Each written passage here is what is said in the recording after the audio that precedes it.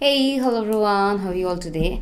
So, in the last class हमने किया था what is norm reference, criterion reference, quadristic assessment, diagnostic assessment, formative evaluation, prognostic evaluation ये सारी चीज़ें हो गई हैं तो आज हम करने वाले हैं इसके आगे right so we have done total eight kind of assessments placement prognostic formative summative उसके बाद डायग्नोस्टिक स्कॉलरिस्टिक नॉम रेफरेंस क्राइटेरिया क्राइटेरियन रेफरेंस इसके आगे हम चलते हैं। अगर आपको इनमें से कोई भी चीज़ समझना आई हो तो प्लीज़ कमेंट सेक्शन में मेंशन कीजिएगा so that I can understand कि आपको कहाँ दिक्कत आ रही है so that we can work from that particular thing okay so I think we can start from here so आज हम स्टार्ट करेंगे विद पोर्टफोलियो एनालिसिस एक तो पोर्टफोलियो असेसमेंट हम लोग करेंगे।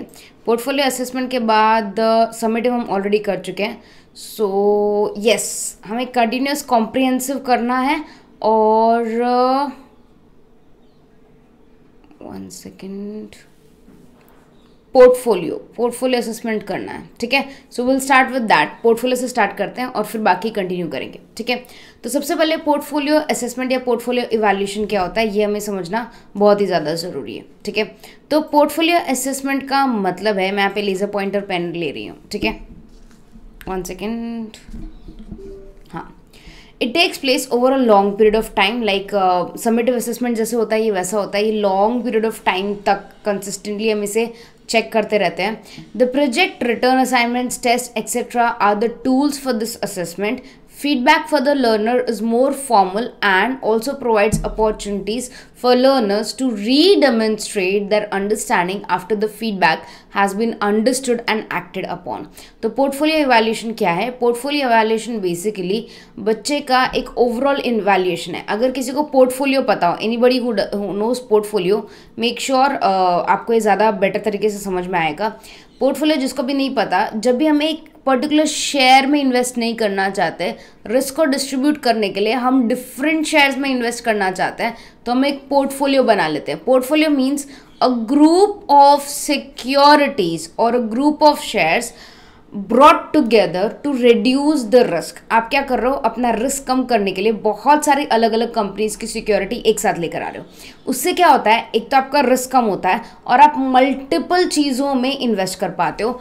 पोर्टफोलियो असेसमेंट एक हिसाब से वही है बिकॉज़ आप क्या कर रहे हो?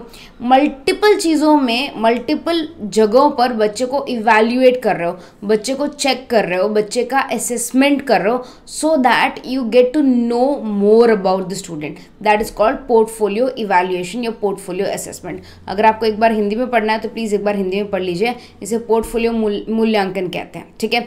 अब इसके अलावा समेटिव और फॉर्मेटिव हम कर चुके हैं।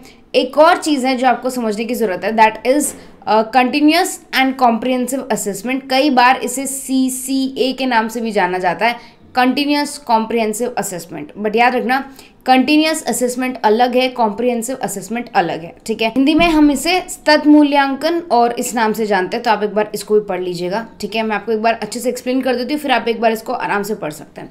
सबसे पहले फॉर्मेटिव और समेटिव जैसा है सेम टू सेम वैसा ही है कंटिन्यूस और कॉम्प्रिहेंसिव इसका मतलब जैसा फॉर्मेटिव असेसमेंट है, वैसा ही कंटिन्यूस असेसमेंट है, जैसा समेटिव असेसमेंट है, वैसा ही कॉम्प्रिहेंसिव असेसमेंट है, ठीक है? दोनों के दोनों मैं बोल सकती हूँ, ये सेम है, ये और ये क्या है? एग्जैक्टली exactly सेम है, ठीक है? एकदम एक जैसे हैं, ठीक है? तो डिफरेंस क्या है? फिर हम फॉर्मेटिव को कंटिन्यूस असेसमेंट क्यों नहीं कह सकते? क्योंकि कंटिन्यूस असेसमेंट या कॉम्प्रिहेंसिव असेसमेंट ये दोनों जो असेसमेंट है वो यूज़ किए जाते हैं by C B S C जो भी C B S E board के स्कूल्स होते हैं, या C B S E based जो एजुकेशन होता है, वो सी सी ए यूज़ करता है that is continuous comprehensive assessment क्यों यूज़ करता है? ताकि बच्चों पे प्रेशर ना पड़े। आजकल जब बच्चों के ऊपर बहुत ज़्यादा पियर प्रेशर रहता है पेरेंट्स का प्रेशर रहता है to score more and more like ninety percent आ जाए तो भी बच्चे को सेटिस्फैक्शन नहीं मिलता, उसके फ्रेंड्स को सेटिस्फैक्शन नहीं मिलता, बच्चे के पेरेंट्स को सेटिस्फैक्शन नहीं मिलता। ऐसा लगता है कि भाई नाइन्टी फोर आ सकते थे नाइन्टी सिक्स आ सकते थे। तो इसकी वजह से there is a lot of depression बहुत सारा, बहुत सारे बच्चों में डिप्रेशन आ रहा है। बहुत सारे बच्चे यू कैन से सैड हैं।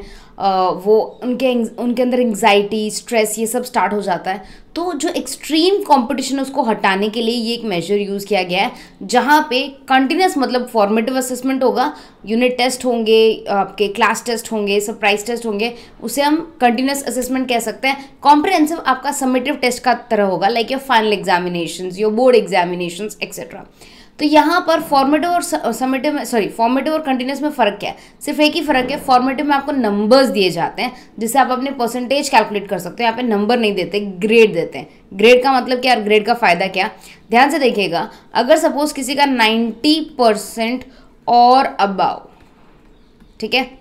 फिर eighty two eighty nine percent फिर नाइन्टी ठीक है?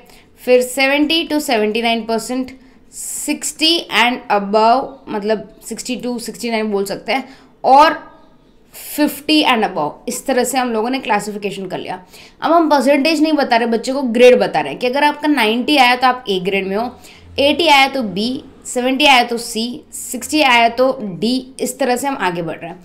तो अगर सपोज़ एक बच्चे को नाइन्टी आते हैं नाइन्टी सिक्स आते हैं नाइन्टी नाइन आते हैं 98 आते हैं कोई फ़र्क नहीं पड़ता बिकॉज़ उसको ए ग्रेड ही आएगा। सारे बच्चों को पता चलेगा कि उनका मार्क्स किसमें आए ए ग्रेड में। So there is no competition इससे क्या होगा? बच्चे में स्ट्रेस एंगजाइटी ज़्यादा नहीं रहेगा बहुत ज़्यादा ओवर कॉम्पिटिशन नहीं रहेगा।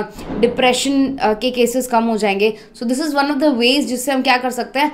uh, ये सारे केसेस कम कर सकते हैं। तो यहाँ पर अगर आप डिफरेंस देखना चाहेंगे तो during the course like formative भी ड्यूरिंग द कोर्स होता है summative at the end of the course तो कॉम्प्रहेंसिव भी at the end of the course होता है। This just like formative assessment this just like summative assessment in place of marks grades are provided and in comprehensive also in place of marks grades are provided यही difference है। इसके अलावा सारी चीज़ें same है ठीक है? So till today I think we have done four plus four five six seven uh, 8 9 10 11 11 types of assessment हम कर चुके हैं, ठीक है? इसके अलावा अगर मुझे एक और मिला तो ऑफकोर्स मैं करवा दूँगी।